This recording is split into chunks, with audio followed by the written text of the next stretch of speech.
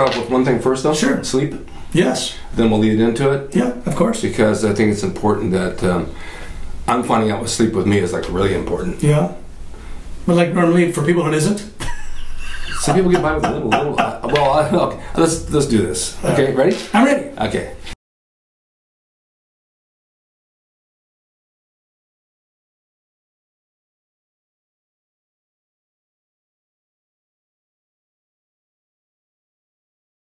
Welcome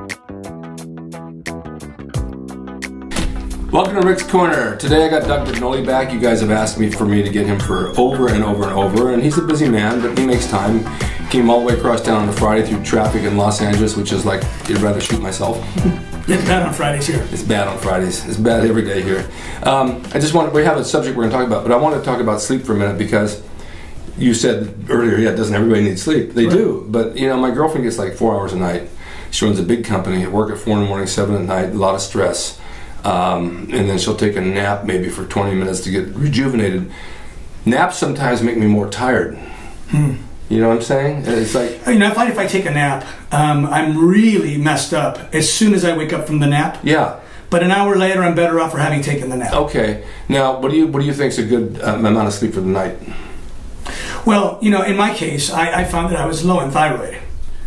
And when you're low in thyroid, you start producing adrenaline in like around four o'clock in the morning, which increases your heart rate, increases your temperature, increases, increases your respiration, your alertness, right? You're going to fight or flight. Okay. So, um, it, it- obviously, if you're 20 years old, that's not going to be the problem. But if you're 40 and above and you're not sleeping through the night, the chances are that you might be low in thyroid, and if you are, it's adrenaline that's keeping, keeping you up. And and what I'm discovering now, I'm reading this book called Recovering on T3, and they're saying that a lot of time, a lot of times the blood test will not accurately reflect.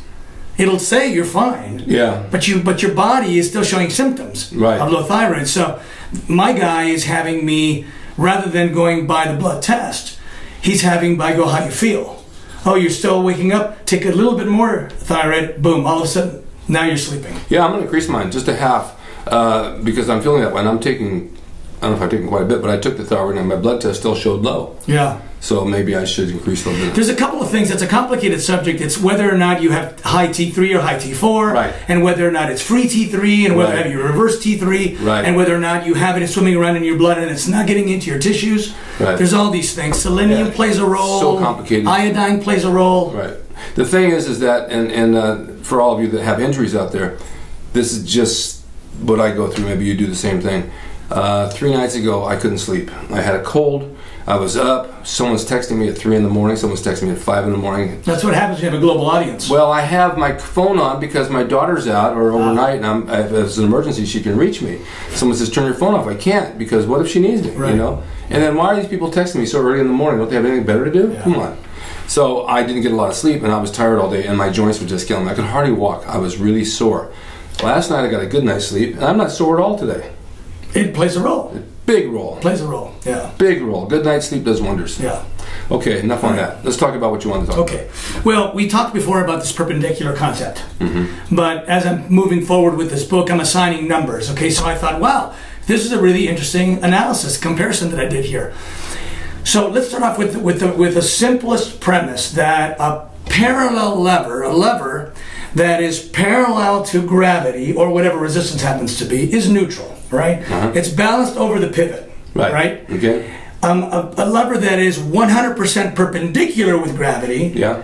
is called a 100% lever. That means 100% of the weight of this hammer plus its magnification because of its length Right. is having to be held up by my hand here. If this is 100 and this is 0, then 45 degree angle is 50%. Got you. I Now, understand. that's not exactly true from a trigonometry standpoint. Like if you were a structural engineer, you'd have to do trigonometry to figure the exact load, but we don't need bodybuilders and fitness people to be mathematicians. It's a good ballpark figure. 50%, 100%, 0%. Okay. Okay. Yeah. So let's compare two tricep exercises using this information that we just learned. Okay? If you're doing a skull crusher on your back, Okay. Right? Yeah. Okay? Very very common exercise. Right here, you can see I've drawn a dotted line where his forearm would become a 100% lever.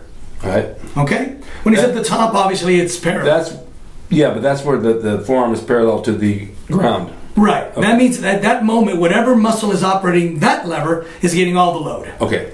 Since that lever is a 12 inch long lever, approximately, it's a 12 time magnification of the weight in your hand. Really? So if you have a 20 pound weight in your hand, that's loading your tricep with 240 pounds. But not actually 240 pounds. Actually, 240 pounds. Really? Actually. What if you put 240 Now? I know it doesn't feel like it Yeah, of course. because that's the way our body has adapted. Okay. Right? But if you were a structural engineer and you had to create a mechanism to hold that lever with 20 pounds in it, you'd have to come up with a force that holds 240 pounds. So if you had 240 pounds in your hands, it's twice that. It's 12 times that. 12 times that. I mean. Right? Okay. Okay. So now we're going to compare that to a parallel bar dip. Yeah. Yeah, which I was telling some guy today that was doing. I said it's a great exercise. Not for triceps, it's not. No, but for overall body. Well, we'll, we'll talk about that in just a second.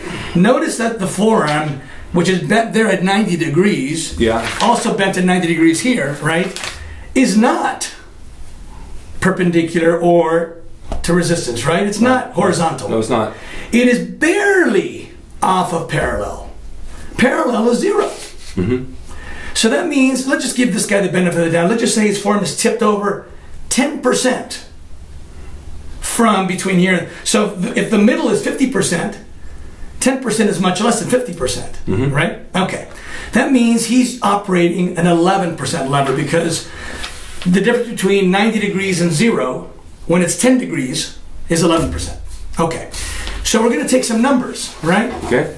If you weigh 180 pounds and you multiply the length of your lever, which is 12, and you multiply that times 11%, you're loading your triceps with 118 pounds, not 240 pounds. But you're using 180 pounds of weight. You're using 40 pounds of weight with two 20 pound dumbbells. Okay. So this is what what I where I say about efficiency. Why pay more for something and get less for it? That's what you're doing. You're paying a 180 pound price for a 180 to 18 pound benefit, when you could be using a 40 pound price and getting a 240 pound benefit. That's true. But what happens is this you get in the parallel bar dip bar and it feels challenging. You don't know where, you don't know what, all you know is it's hard. It's hard. It's harder than skull crushing with 40 pounds. So you believe that you're working your triceps harder than you were with this one, but you're actually not. You're just spreading it around. Your front deltoid is getting most of the work Yes, it is. It, that- on, a, on a parallel bar yeah, dip yeah, a little bit. Yeah, it is. right? Now you're getting some pecs in there too, Yeah. right? But even when you're at the very top of the movement, I didn't bring it, but even when you're at the very top of the movement, holding a 180 pound bar, especially if you're hanging weights on you, right? That's just a lot of stress on the wrists, on the forearms, on the elbows, all of that. And you say, okay, so what's the payoff? 118 pounds. Why, why don't I just. Now, here's what I want to get at is that you shouldn't care how much you're actually lifting. Your muscle is informing you of how strong it is. When you're using a, a perpendicular lever, that is the ultimate test of strength. If you're using 20 pounds on a skull crusher, let's say, and that is challenging for you, that identifies the strength level of your tricep. Why, want, why would you feel that you need to use more? It's telling you what it's Yeah, I. I understand that, but what happens when you're younger? Uh, you always want to increase your weight. Every workout, you'll keep. I see you guys keep a log. Oh, I just went up ten pounds, went up ten pounds, went up ten pounds on That's fine. because they want to do more and more and more. Like Steve Merjanian, remember Steve Merjanian? No. he would do. Well, this down to Gold's years ago. He was a big guy. He could do tricep extensions flat on the bench at 315 pounds. Yeah. he was extremely strong. He had huge triceps. Well, let's just say you're going to do, um, let's just say you've got an EZ curl bar and you're doing skull crushers on a flat bench with an EZ curl bar. And you don't want to use strict form. Let's just say you Yeah, don't yeah, want to use yeah, strict form because, because you think you must keep up with your training partner who's using heavier weight. Right. So you put on, let's say, 50% more weight than you can comfortably handle with good form. Right. And now you're taking it behind, you're throwing it up.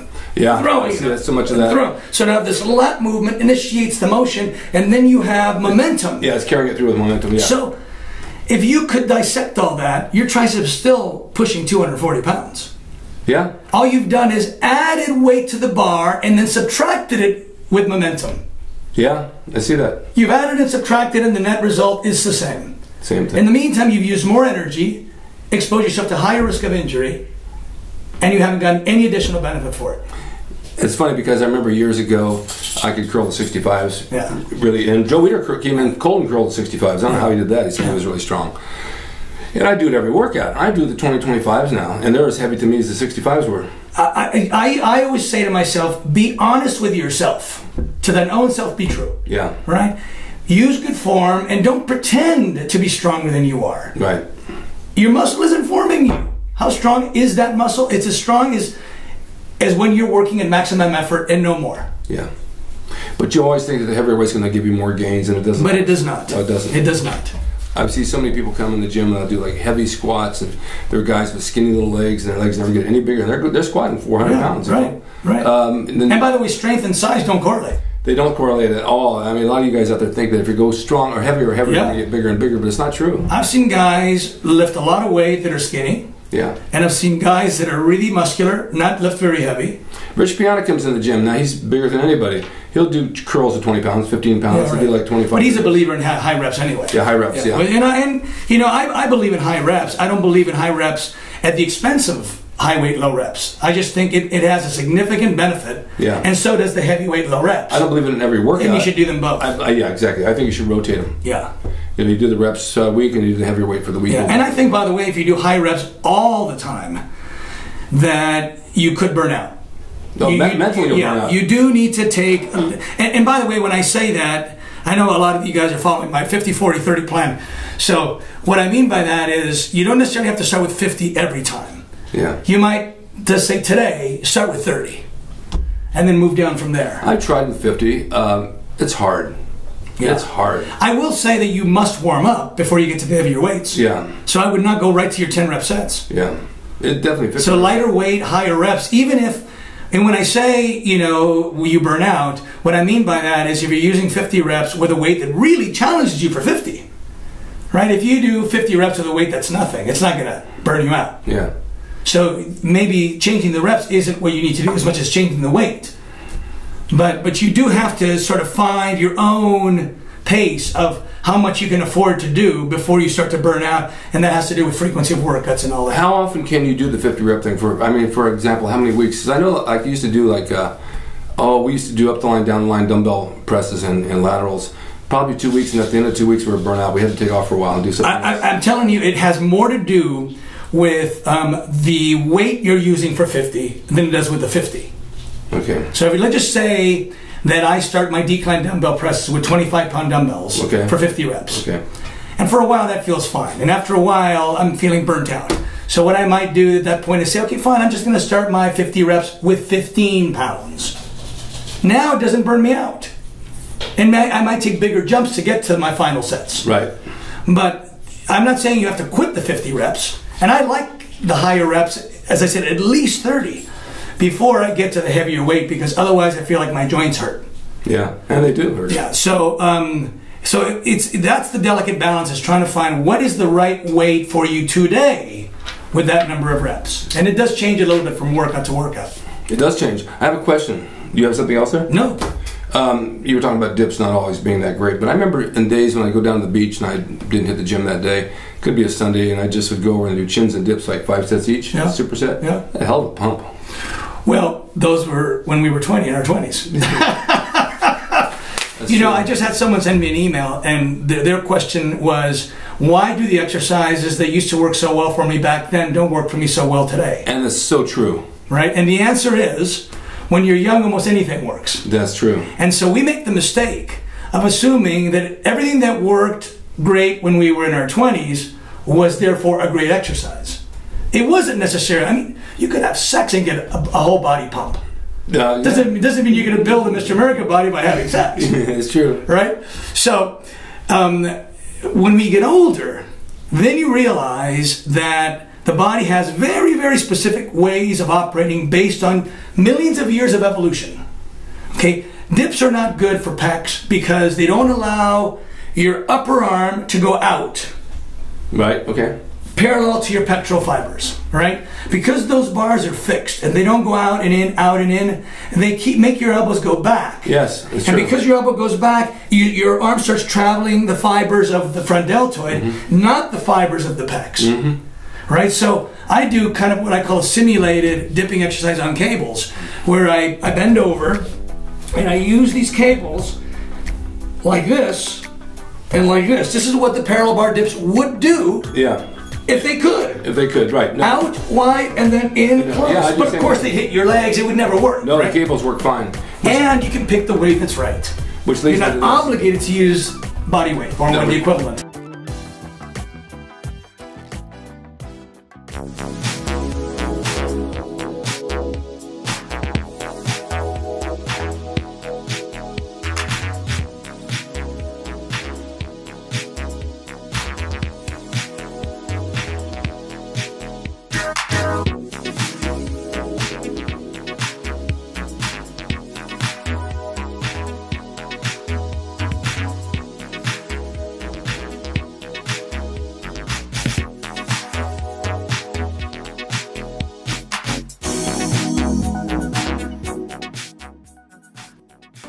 It's. He is the equalizer, baby. See you next time.